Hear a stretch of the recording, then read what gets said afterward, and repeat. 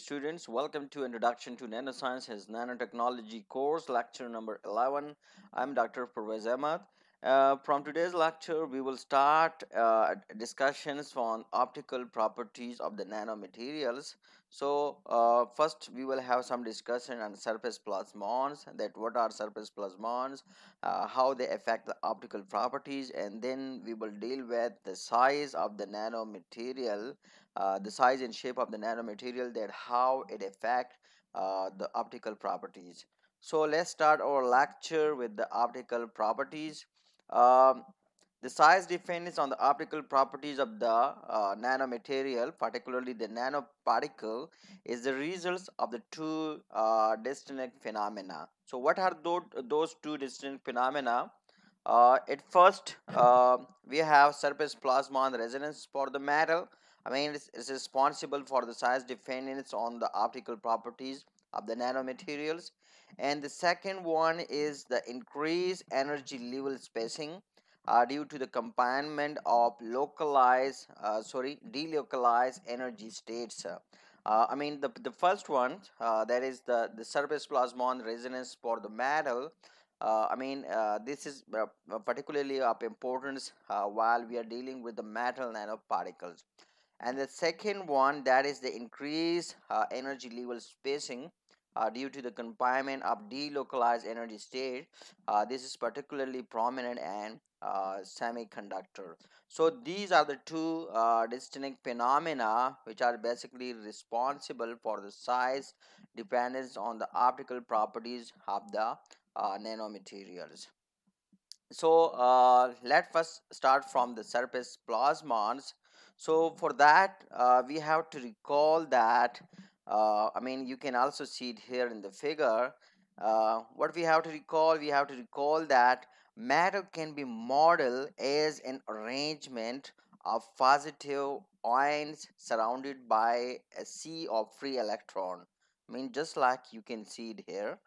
I mean that that is I mean we're trying to clarify the concept of surface plasmon and before clarifying that uh, first of all we have to uh, uh we have to clarify our concept from some of the example here. And for that we recall that matter can be modeled as an arrangement of positive ion just like you can see it here. And these positive ions they are surrounded by uh, a sea of free electron. And you can see it here uh, in this figure.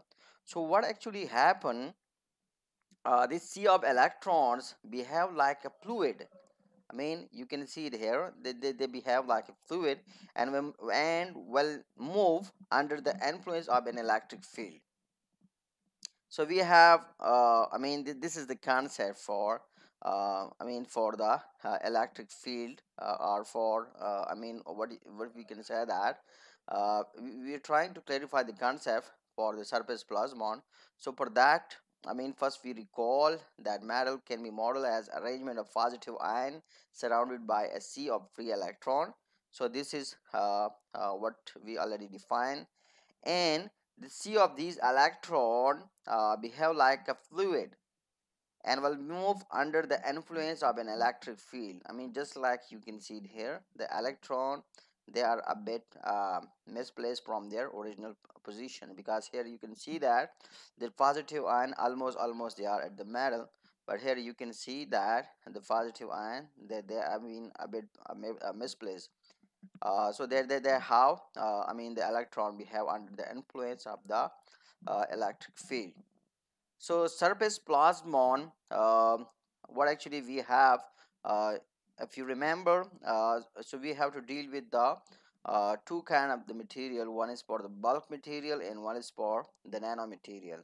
So at the electric field i mean just like we mentioned here i mean at this slide we say that the electric field basically influence the behaviors of the electron sea i mean once we apply the electric field so the electron sea they start a bit of oscillations with respect to the positive ion so what we have uh, at the electric field uh, I mean when we apply the electric field and if that electric field is oscillating like a photon so then the sea of electrons will also too.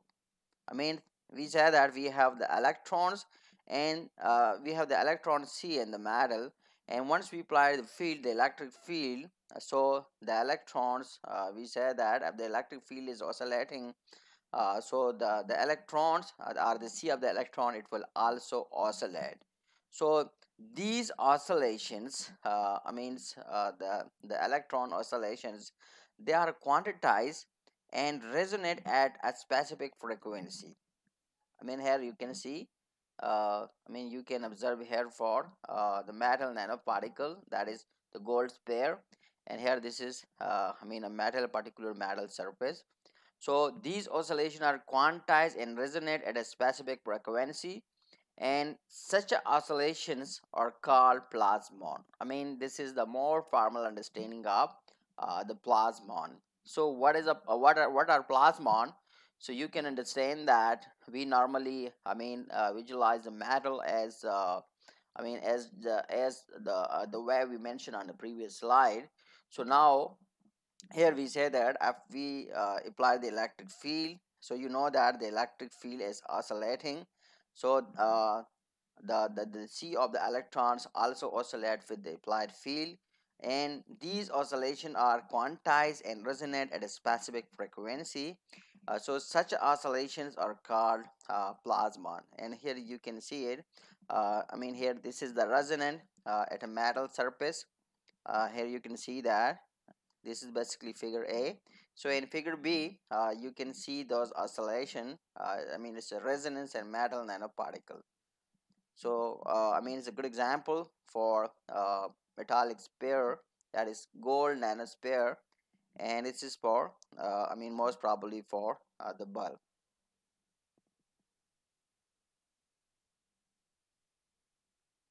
so uh, surface plasmon I mean we we have a formal definition for the surface plasmon uh, or uh, so what, what are surface plasmon?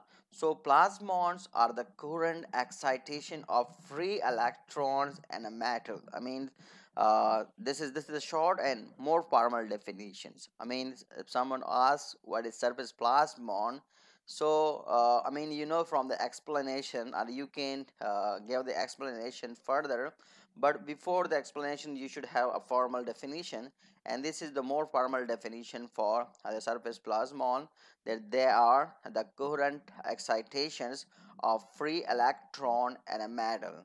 So uh, the plasmon resonance frequency that we uh, denote by a small f uh, depends on the particle size, shape, and material type. I mean these are the factor on which the uh, the plasmon resonance frequency depends on. I mean first we have the particle size, shape, and then the type of the material. These are the three factor on which the surface uh, I mean the plasmon resonance frequency depend on and it is related to the plasmon energy uh, the energy in this particular case we denoted by E uh, according to the Planck relations uh, uh I uh, this this energy is given by E is equal to HF where H H is basically the Planck constant and F is the resonant the resonance frequency.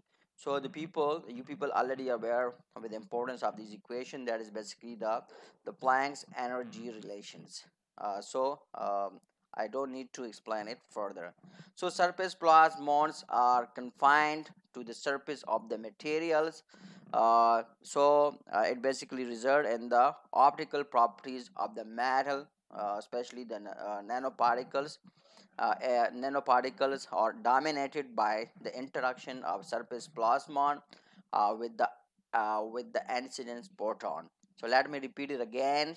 The optical properties of metal nanoparticles or metal nanomaterials are dominated by the interaction of surface plasmon with the incident photons i mean uh, what it mean it mean that when we have uh, especially in uh, metallic nanoparticles or uh, in uh, metal nanomaterials uh, when we have the interactions between the surface plasmon and the incident photon so this basically affect the optical properties of that particular uh, nanomaterial so the role of surface plasmon is very important uh, and uh, the recognition or and the understanding of the optical properties uh, of nanomaterials.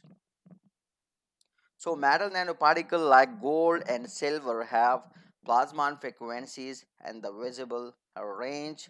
So uh, what it mean or what happened? Uh, so when uh, white light uh, impinges on the metal nanoparticles, so the wavelength corresponding to the plasmon frequency is observed. So what happened as a result, the spectral uh, locations, strength, and number of plasmon resonance for a given particles depends on the particle shapes and size. So here you can see that uh, we, have, we, have, we have plotted the optical properties. Uh, we have, I mean here you can see different colors. Uh, this is the same gold nanoparticles, uh, but you can see different color. So that's basically the results uh, of observe, uh, observance with respect to the wavelength applied. I mean here you can see that once we change, I mean the wavelength so here you can see that uh, I mean along with that the observance of the light uh, in the gold nanoparticle is also changes. So with that uh, when it happened so along with that the optical properties or the look of the nanoparticle uh, it also changes. Here you can see that so these are these are basically the optical absorption spectrum of 20 and 18, uh, 18 nanometer gold nanoparticle embedded in the glass. I mean these are the uh, 80 and uh, 20 nanometers uh, gold nanoparticle which are embedded uh, in the glass. Uh, so the observance, the, their observance has been plotted against the wavelength. So here you can see that the wavelength, I mean, varies between 400 to 700 nanometer and here you can see the observance in this particular range. So what actually we see here uh, somewhere uh, i mean around uh, 525 uh, here we say that for one kind of uh, nanomaterial we have the maximum observance. So here you can see also this that that particular change here and color uh, as well uh, this is for the 20 nanoparticles. I mean from 10 uh, 20 nanometer size particle. So here the observance is uh, maximum uh, at a wavelength uh, approximately around 525 nanometers. And for 80 nanometer here you can see that the observance is maximum and that is around i think 570 around 550 I think 5 560 around 560 nanometer. And the observance is uh, again it is uh, around uh, 85 or something. So for smaller nanoparticle the observance is a bit smaller as compared to the larger size uh, particle. So that's why we are saying that uh, the observance uh, I mean it depend upon the size of the particle. Uh, but here you can see that uh, it's not only depend on the particle size but also on the wavelength of the light that has been used and also on the type of the material. These facts we already mentioned on the uh, previous slide.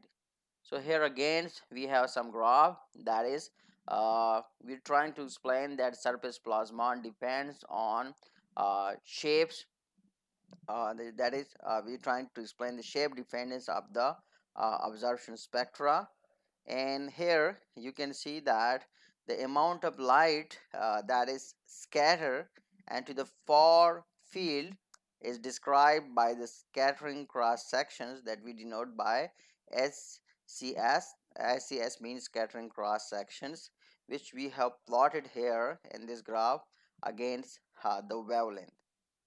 So what happened the scattering cross section is plotted against the wavelength light used to illuminate a particle uh, from uh, a specific angle. I mean, we illuminate particles on the nanoparticle from a, a specific angle. So, so we observe the, the scattering cross sections. I mean, which is plotted here, scattering cross sections. So here you can see that uh, we have the arrows so these arrow they basically indicate uh, i mean uh, the angle at which we scatter light on the particular nanomaterials. I mean the arrow they basically indicates the uh, the angles at which we shine or at which uh, we uh, illuminate the, the light or it basically indicate the illumination angle. The illumination angle and the color of the arrow is basically correspond to the different plotted line. I mean here uh, you can see that we have blue uh, green and uh, red uh, arrows. So they're basically uh, i mean the plotted line. Here we have the blue one it's a green one and this is the red one. The, the color represents the plotted line but the arrow directions i mean that represents what uh, the illumination angle and here you can see it more clearly. I mean we have a triangular shape so here again we have plot in different colors. So these arrow uh, the color corresponds to the plotted lines and the, the, the arrowhead they basically specify the angle at which the light is being uh, I mean uh, eliminated at that particular uh, nanomaterials. So here again you can see it with more details I mean uh, uh, the triangular shapes nanoparticle produces plasmon uh, with altered uh, frequency uh, and magnitude. I mean here you can see that I mean we are interesting that what kind or what shape of the particle, what shape of the plasmon I mean it depend more the optical properties and again here we have the scattering cross sections uh, that is being plotted against the wavelength so here you can see that uh, we have uh, nanoparticles uh, that is spherical, uh, square, uh, hexagonal and triangular. So triangular shaped nanoparticles just like you can see it here in this figure or in this graph. So here you can see that the triangular shape which is uh, green so that produces a plasmon with altered or altered frequency and magnitude. I mean here you can see that the altered frequency is more scattering cross sections uh, is more the, the, the, we have the altered frequency uh, as compared to the uh, other shape that is uh, spherical uh, square or an hexagonal so that's all we have for this lecture. I hope you enjoy a lot. Um, so stay tuned uh, with the next lecture because in next lecture we will continue uh, with the optical properties of the nanomaterial. But uh, in that lectures we will have discussions on the energy levels energy level spacing and energy level spacing and quantum confinement. So stay tuned for the next lecture. Thanks for watching again. See you in that lecture very soon till then bye bye